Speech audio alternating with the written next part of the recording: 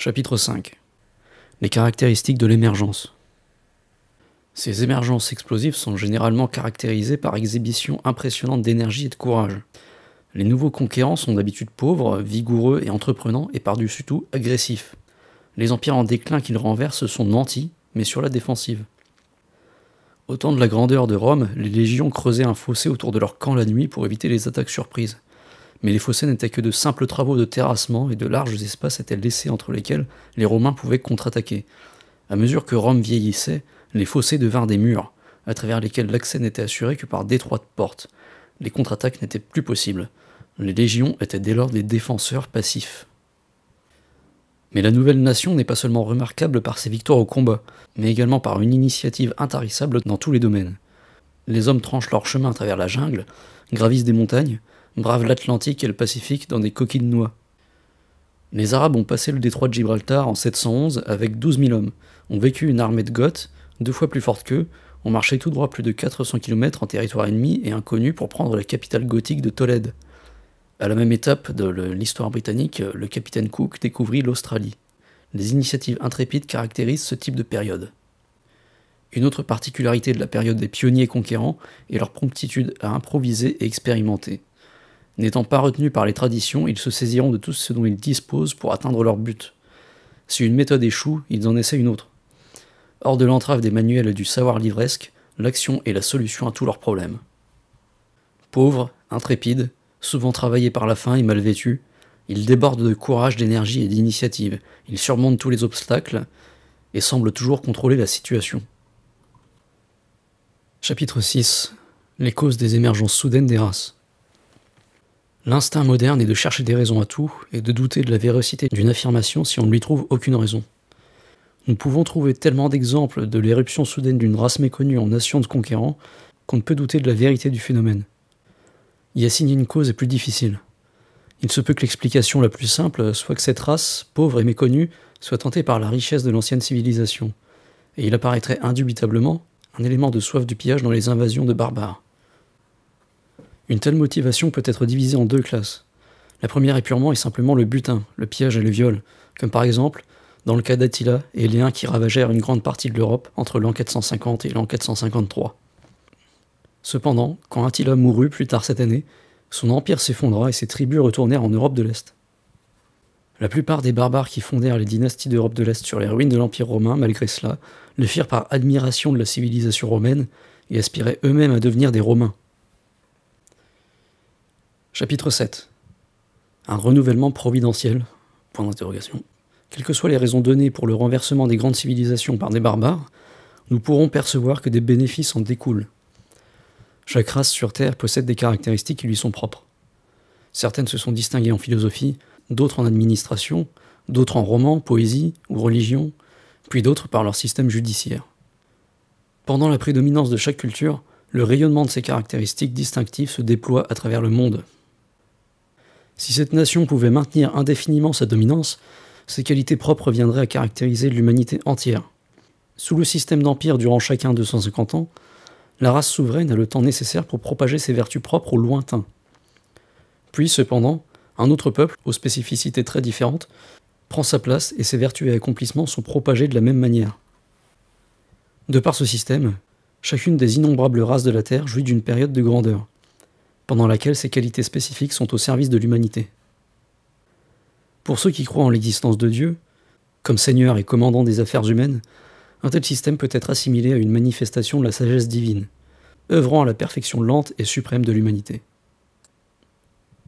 Chapitre 8 La trajectoire d'un empire. La première étape de la vie d'une grande nation est donc, euh, après son émergence, une période d'initiative stupéfiante et d'une entreprise, un courage et une hardiesse presque incroyables. Ces qualités produisent souvent en très peu de temps une nouvelle nation formidable. Ces victoires précoces, cependant, sont obtenues surtout par la bravoure imprudente et l'initiative osée.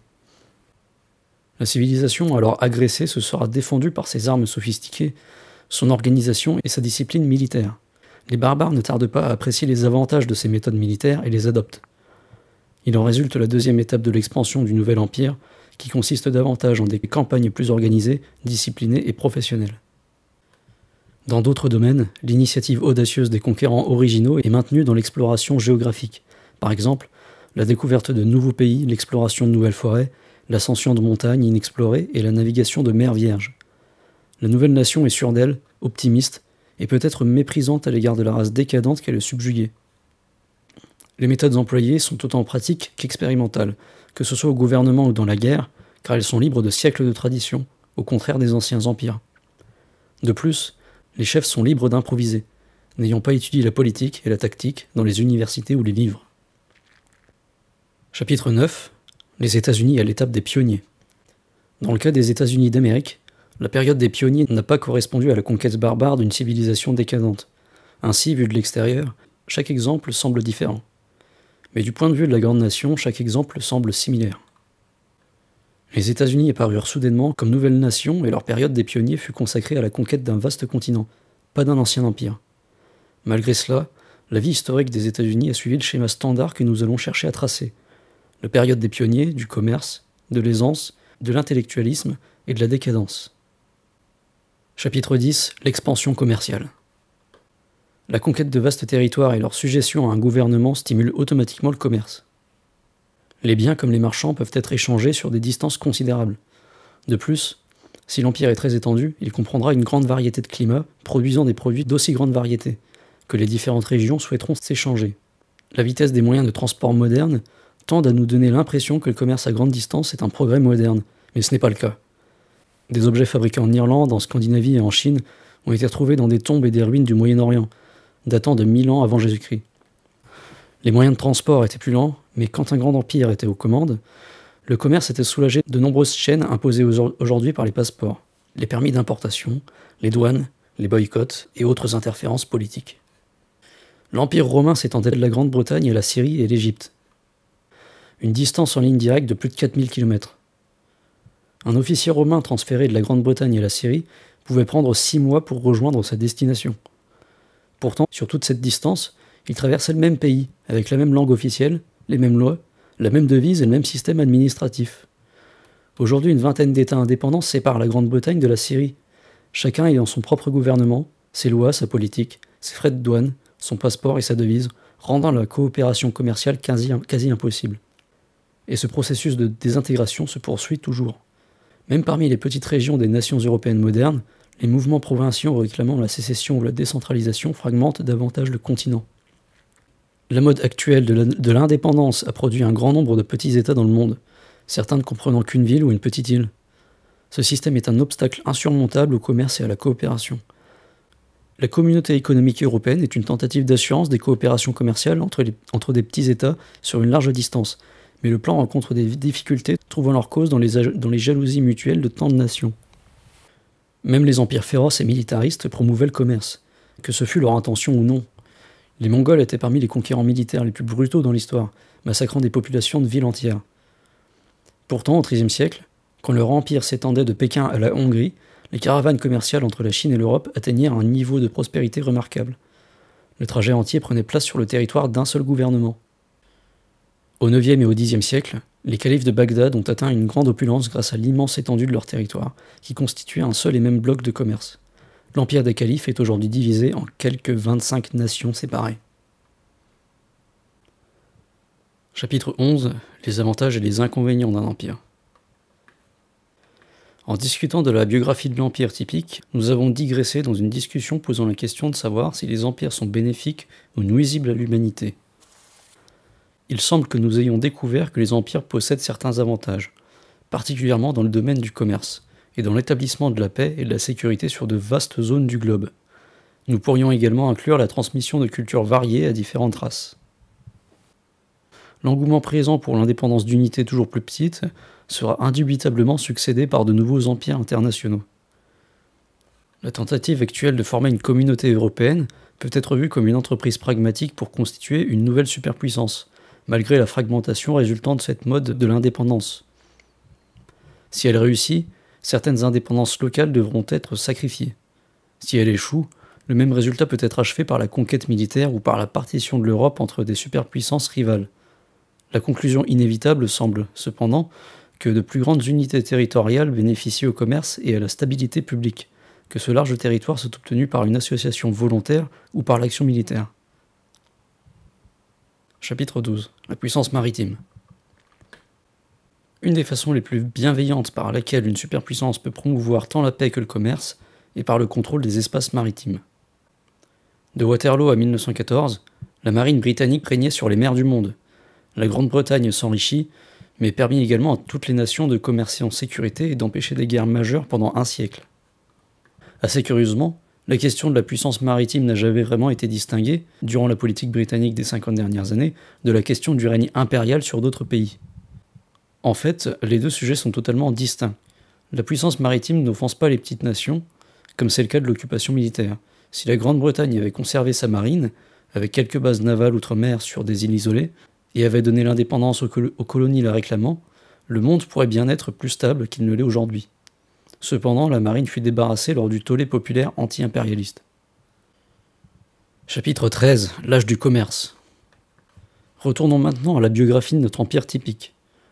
Nous avons déjà examiné l'âge de l'émergence soudaine quand un peuple n'attirant pas l'attention émerge soudainement sur la scène mondiale avec un courage et une énergie débordants. Appelons-le l'âge des pionniers. Ensuite, nous avons vu que ces nouveaux conquérants s'appropriaient les armes sophistiquées de l'Empire vieillissant et adoptaient leur système d'organisation militaire et d'entraînement. Une grande période d'expansion militaire s'ensuivait, que nous pourrions appeler l'âge des conquêtes. Ces conquêtes résultaient en l'acquisition de vastes territoires soumis à un gouvernement, donnant place automatiquement à l'accroissement de la prospérité commerciale. Nous pourrions l'appeler l'âge du commerce. Bien sûr, l'âge des conquêtes recoupe avec l'âge du commerce. Les fières traditions militaires maintiennent leur influence et les grandes armées gardent les frontières, mais petit à petit, l'envie de gagner de l'argent s'installe dans la population. Pendant la période militaire, les objets d'ambition étaient principalement la gloire et l'honneur. Pour le marchand, ses idées sont creuses et n'ajoutent rien à leur solde. Chapitre 14 L'art et l'opulence. La richesse qui semble, sans le moindre effort, inonder le pays, permet aux classes commerçantes de devenir extrêmement aisées. Comment dépenser tout cet argent devient un problème à l'opulente communauté des affaires. L'art, l'architecture et le luxe trouvent de riches mécènes. De splendides bâtiments municipaux et de larges rues donnent de la dignité et de la beauté aux quartiers riches des grandes villes. Les marchands riches se font construire des palaces et l'argent est investi dans les réseaux, les grandes routes, les ponts, les chemins de fer ou les hôtels, en fonction des modèles propres à chaque époque. La première moitié de l'âge du commerce apparaît comme étant particulièrement superbe. Les anciennes vertus du courage, du patriotisme et de la dévotion au devoir sont toujours présentes. La nation est fière, unie et pleine d'assurance on exige toujours des garçons, avant tout, d'être virils, de conduire, d'atteindre la cible et de dire la vérité. Entre parenthèses, il est remarquable de voir quelle importance est donnée à ce stade sur la qualité virile de l'honnêteté, car le mensonge est lâcheté, la peur d'affronter la situation. Les écoles pour garçons sont volontairement sévères. Repas frugaux, vie difficile, casser de la glace pour se laver et autres usages ont pour but une race d'hommes forts, robustes et braves. Devoir, entre guillemets, et le mot qui est constamment matraqué dans l'esprit des jeunes hommes. L'âge du commerce se démarque également de la grande entreprise dans l'exploration de nouvelles formes de richesse. On fait preuve d'une initiative intrépide dans la recherche de nouvelles entreprises profitables et jusqu'aux quatre coins du monde, perpétuant d'une certaine façon le courage aventureux de l'âge des conquêtes.